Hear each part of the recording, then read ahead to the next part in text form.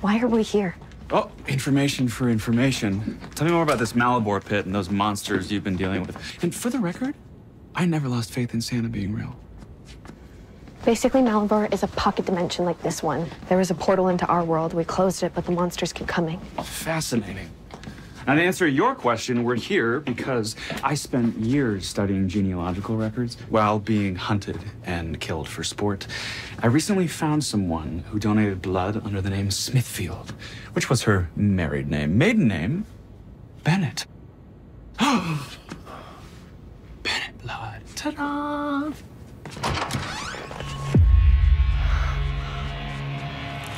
Thank God you're here.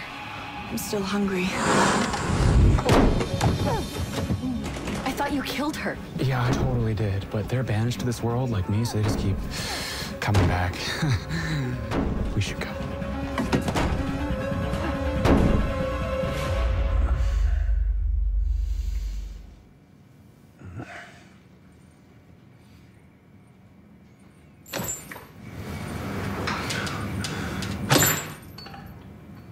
Josie?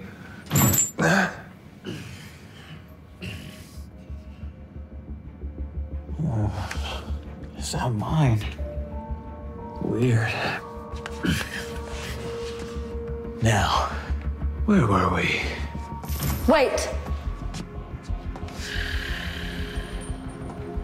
Don't kill him yet, D. Let me guess. You want to burn him? Sure. But first, I want to have a chat. Remember how he put us on trial and then abandoned us to this god awful place? I think it's time for your trial, Alaric Saltzman. We need to find my dad before that werewolf wakes up. Well, then go.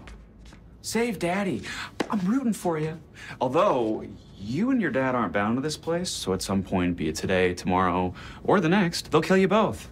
Sorry, kiddo. The Bennett blood's gone. We're trapped here. Nothing matters. What if there was another way to get Bennett blood? Would you help me then? Yeah, nice try at manipulation, but I'm not gonna believe anything you... It's Bonnie's from when we sent the sand clock here.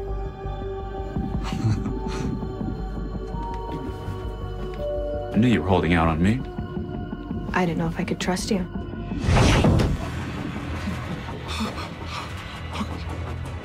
Oh, goodness. oh, perfect timing, baby. The Immobilis. Hey, thanks for your help. Your instincts were right. there is no trusting me. So while you've been playing checkers, I've been playing chess.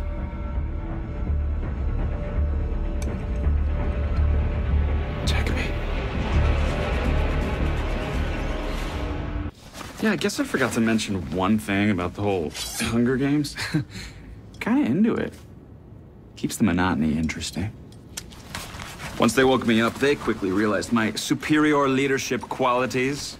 They're kind of like my followers, I guess you could say.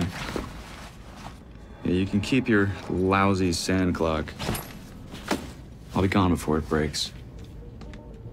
Oh, chin up. You're new at conning people. You'll get better at it. Take it to Rick. Don't kill her yet. Make them both suffer.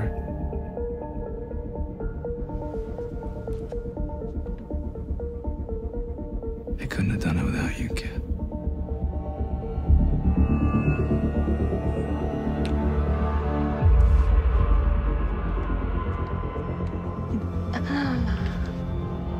Oh, this is gonna be fun.